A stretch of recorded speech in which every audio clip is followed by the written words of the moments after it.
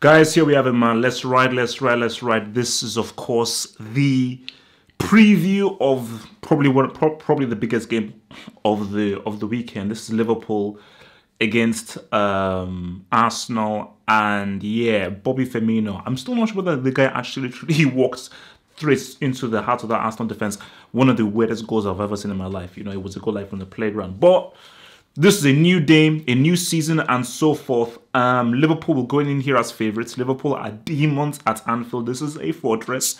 Um, but Arsenal have a chance. Arsenal have a chance. Is that chance good enough for them to win? I don't know, but they but they do have a chance because I think this is going to be maybe an improved Arsenal. But let's just look at the setup right now. So, as we see right here, your boy um, Alisson he's still out with I believe it's the it's a calf injury. So I think the defense pretty much speaks for itself. You've got Matip, the big boy, Van Dijk in there, Robertson, Trent. But obviously, as we go a bit more into this preview, is are, are these guys going to play a high line, a deep line, or so forth?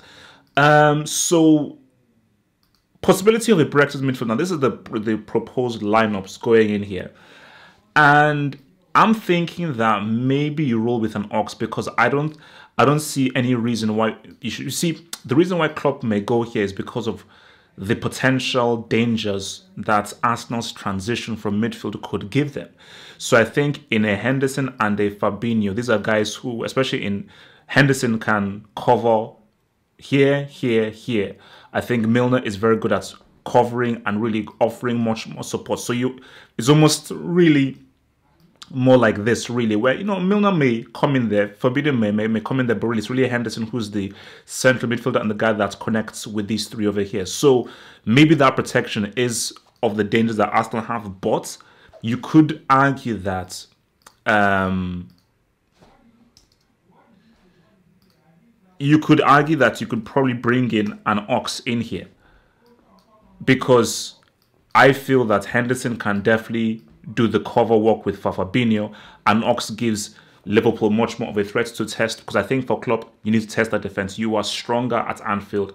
This is where you've got a, a, a, great record. So I don't think there's any say Brexit midfield is for if Liverpool are playing away from home. Playing at home, I think that they should go with with a bona fide attacking midfielder in an Ox playing centrally, not out wide, playing centrally and really driving forward with, with the ball. And of course, you already know what Mane, Salah, and Firmino can do. You know, this is definitely a guy that Arsenal have to watch out for.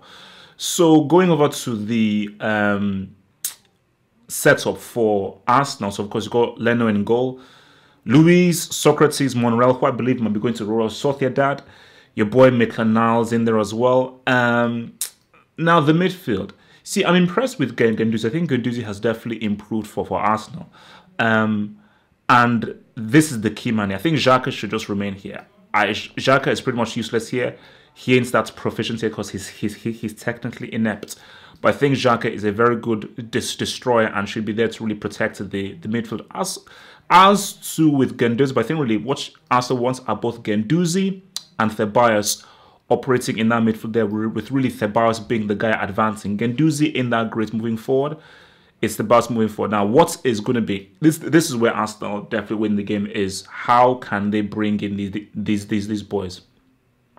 How can they bring in Auba? How can they bring in Lacazette? How can they bring in Pe Pepe? I'm very interested to see what Pepe does because Pepe, this is the the new guy, and what kinds of ideas can he bring in, and how can he test that defense off of Arsenal's, um, so sorry, off of off of Liverpool's. And this is the key to Arsenal is how these two combine. Um, I still say that as of right now, we're looking at to see what Martial and Rashford can do. They, for me, are the best strike partnership in the Premier League, and I think that we've not even really seen these guys play to, to their brim. I, I think they've really touched the surface of what they can do. But let's just go back to the Liverpool thing. Now, what Liverpool did against Norwich, and I think what they, they may be trying to do is, and this is just me, I don't know how Klopp is going to play if Liverpool have the, the ball, you have Robertson right up there, Trent right up there, and them playing a nice high line because they want to win the ball nice up and early. So if it's so the the danger here, which is what Norwich got, was that ball over the top over to Trent. I think Robertson is much better defensively than Trent. Trent is better going forward, but is that left hand side? So when if you go back to Arsenal and that, that left hand side, Lacazette And I think if Lacazette can get that ball over the, the top and can really win his one-on-one battles with um, Trent, I think what Emery wants is how he can cut in from the left. See, this is why what Arsenal really needed was a left forward. And not, not really left forward, they needed a left-sided wide man. Lacazette, Lacazette is really a, a central striker. And if you play him out wide, he's going to be he's to be an inside forward. He this isn't his his his game. This is his game. This is his game. This is not his game. So really to exploit that um, Trent's thing of Liverpool playing a high line, Arsenal really needed this. But with Lacazette out there wide, and he's smart enough to really know to how to cut outside, how to cut inside, and really make good distribution with the ball to bring in an Auba or a Pepe. But where Liverpool have to be very wary and what they have to be looking for, and this is where Guendouzi has to come back, is they these two guys have to really help out both Niles and Monreal because Mane and Salah can, can get that ass. Mane is on one. Homeboy is on one. And Salah is now really getting into that whole Robbenesque of like, if you give it to me in my sweet spot, I will deliver to you. And that's why I, I mentioned this by Firmino. This is what will cause Arsenal issues is Firmino dragging guys away, getting the ball out deeper. So let's, let's just put these guys back a little bit back here now. Um, what is going to be problematic is where Firmino picks up the ball because what Firmino does is he will want to drag out the Arsenal, the defenders, and because he's smart, he knows how to pick up very dangerous positions. And as soon as Firmino gets, gets the ball, Salah is in, thing is in. So they are both making those diagonal runs in, and Firmino is very good at picking out those passes in, in between. So it is going to be very important that Luiz and Sokratis are very aware and they and they talk to one and one another because if they have a lack of communication, Liverpool will, will get that ass. Liverpool will get that ass. So I'm very interested to see what the Bayern does in this game because it's definitely a much tougher game than Burnley. It's it's it's probably going to be one of Arsenal's toughest games this season. So it's how well can Ceballos control the ball, keep the ball, and utilize the ball, and bring in Pepe and Lacazette and Auba into the game. You know, um, for Monreal and Maitland Niles, I don't think they will be that effective going going forward. Um, I think Arsenal's key is through the centre. Whereas for Liverpool, which is what will make them so dangerous, is that they can get that ass out wide with Trent's great delivery, Robertson's balance on the ball. They can get that ass straight through the middle through Ox. They can get that ass through the the, centre with Mane, who really can go out wide, go in the middle. Salah, who cuts in inside a lot more, and Firmino, who is he's he's a false nine. He's he because see the difference here is for Arsenal Emery, you want Aubameyang always there. And the key thing is feed him the ball, get him that through ball. Hope that you can get Liverpool to play the high line so you can get that ball over the top for Auba to run onto to give Van Dijk and um, Matip something to, to worry about.